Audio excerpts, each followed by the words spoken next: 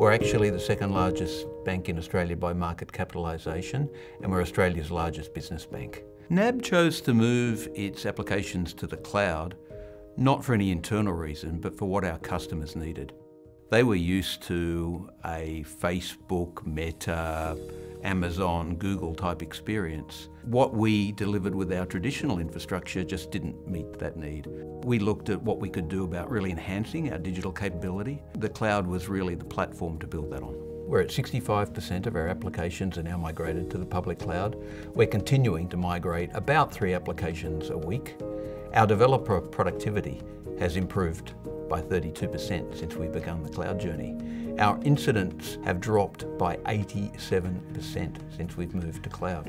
On top of all that, we're getting real benefits to our staff engagement. Our people told us that they wanted to work on state-of-the-art technology with state-of-the-art partners. That partnership has been fantastic for us and has been such a good foundation for then building on every other aspect of how we make engineering exciting at NAB. The ongoing development that AWS puts into stability, into performance, into cost management, into data and machine learning, we've been able to take advantage of. So my teams particularly can focus on how do I make a home ownership journey as fast as it can possibly be? How can I get money into a business that needs it as quickly as we possibly can? How do we use the data that we have to stop scams and frauds that are impacting our customers every day? It helps us change our priorities and our focus into the things that really matter for our customers. NAB Connect is our premier business banking platform. AWS has brought resilience to NAB Connect because we're taking advantage of the cloud native auto healing and auto scaling capabilities. We're able to detect issues happening in the platform before they happen and automatically remediate them before the customers get to see what's happening. Since we've moved to the cloud, our critical and high incidents are the lowest they've ever been. Our workforce has changed and adapted since moving to the cloud because our engineers are more enabled. They're able to certify their qualifications in cloud services. The benefit of this means that we're able to do things on our own, we move faster. Also, our team are more confident in the changes that they're making to the environments. The education platform that AWS provided us was incredible. We were able to train 7,000 of our colleagues in cloud, of which 2,700 of those colleagues are now formally accredited. I think the solution architecture and support teams also were just invaluable. They were able to help us with the difficult problems and help us understand how we should architect our platforms in a very safe and agile way.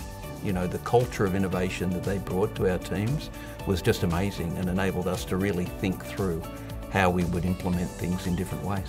The Tech Council of Australia predicts that Australia will need over a million tech jobs by 2025 and therefore we all recognise the important role that we need to play in attracting, training and facilitating that kind of talent. And we're preoccupied with making the engineering experience that our developers have in NAB the best that it can possibly be.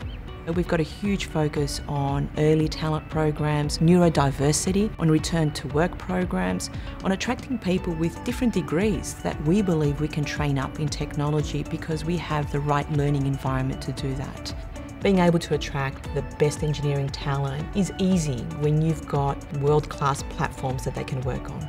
Nobody wants to be hand building servers these days and the partnerships that we form with partners like AWS allow for us to have a very strong talent attraction strategy in the market. What I'm really excited about is once we get through migrating all of our applications, we'll have a platform of innovation. We'll have a platform where we can de develop new capabilities and new products for our customers really quickly and in a really agile way. We'll be able to harness the power of data and that'll allow us to understand our customers better and it'll do so in an environment that's much safer and much richer than what we've had traditionally.